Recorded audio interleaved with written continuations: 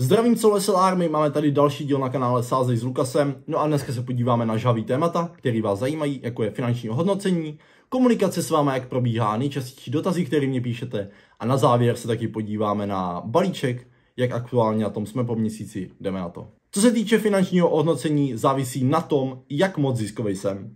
To znamená, že neexistuje situace, že bych vám dal nějaký typy, kde, který bych neměl dopředu ověřený, kde bych neviděl žádnou hodnotu, kde bych neviděl žádný value, takže si na tom dávám kurva záležet, aby ty typy měly smysl a trávím nad tím několik hodin času. Takže jestli mě někdo chce nazývat podvodníkem, jak už se párkrát stalo, když jsem po 420 typech udělal 14% yield a pak nastane třeba situace, že nevíde pět typů po sobě, a už mě psat, že jsem podvodník, jako někteří by se měli zpamatovat a uvědomit si, že profesionální sázení není to sázení, které vidíte u těch dementů na Instagramu v reklamách, eh, kde se vozí v drahých autech, mají tam půjčený uh, najatý herce, lehký holky. To není to sázení. Sázení, profesionální sázení o tom hledat chyby, hledat hodnotu a zkrátka pracovat s číslama a porážet marži těch sázkovek. Další věc, kterou bych chtěl probrat, je, že 80% z vás píšete jen když se nedaří. Dokážete napsat, kolik jste dneska byli třeba v mínusu, ve ztrátě, ale naopak, když je třeba den bez chybičky, tak nenapíšete, nebo jenom pár lidí se ozve a poděkuje. Uh, beru to jako, že je to vaše věc, ale mělo by, mohli byste se nad tím víc zamyslet. Myslím si, že to stojí za zamyšlení. Ale abych nebyl jen negativní, tak mě chodí i pozitivní zprávy, kde mě podporujete a vážím si toho a děkuju za to, protože jak vidím, tak těch lidí je čím dál míň a takových lidí je potřeba si vážit. Co se týče typu, tak eh, v typech mám naprosto, naprosto volnou ruku, eh, ale zároveň s Lukasem jsem eh, v kontaktu vlastně prakticky denodenně, když se mě ptáte nějaký dotazy a snažím se vám to vysvětlit a to, co nevím, tak se snažím dohledat a pomoct se vám, pomoct vám, takže to není o tom, že vám tady prodávám typy, ale snažím se vám i pomoct v tom sázení nebo i třeba v těch nákupech, Eh, když nevíte s nějakýma transakcemi, tak se vám snažím to nějak zjistit a pomoct. A samozřejmě vám chci předávat i další moje, zatím co mám zkušenosti, tak chci vám je předávat v dalších videích.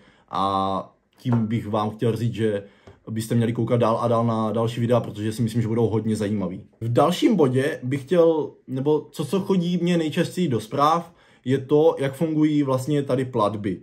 Uh, nejvíc dotazů chodí na to, že koupíte balíček, ale koupíte ho až den, kdy já zveřejním typy a ptáte se, jestli ten den ještě budete mít ty typy. Nebudete. Je potřeba to koupit minimálně dva pracovní dny dopředu a abychom vám byli schopni vlastně garantovat to, že, že budete mít ty typy včas. Další věc je, že vlastně na webu máte volitelný počet kusů a já doporučuji, abyste si zvolili větší počet kusů, protože pak už nemusíte myslet na, nemusíte myslet na to, že vám vyprší balíček za chvíli a ušetříte, ušetříte si tím i vy čas.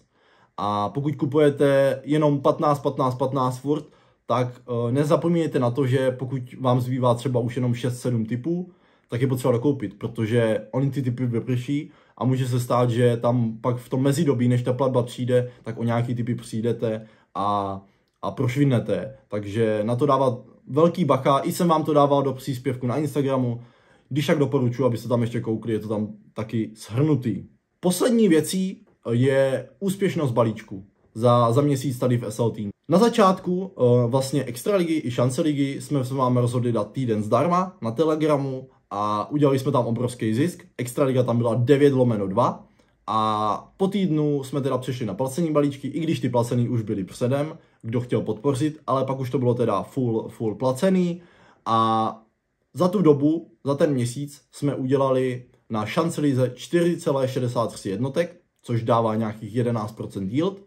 Na, na Tipsport Extralize to bylo 9,90 jednotek, což dává přes 17% yieldu, což je nad očekávání, protože uh, té verifikaci to bylo o něco míň a teď uh, je to víc. A navíc ještě ty procenta se budou podle mě zvyšovat, protože budeme mít víc dat a tím pádem budeme moct hledat lepší, lepší ty valové kurzy a budeme mít prostě víc dat. A čím víc je dat, tím je, tím je ten zisk lepší. Celkově jsme byli teda 14,53 jednotek v zisku, což dává nějakých 14,5 tisíce korun.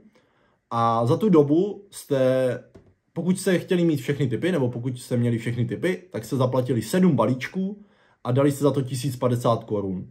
Což dělá ten čistý zisk pro vás 13,5 tisíce korun.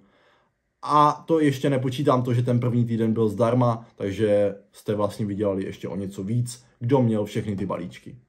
To by bylo všechno pro tohle video. Já se na vás budu těšit u dalšího videa, který bude hodně zajímavý. Uh, myslím si, že, že na tom, co vám řeknu v příštím videu, můžete vydělat dost peněz a budu se na vás těšit. Mějte se hezky, ať se vám daří a ahoj.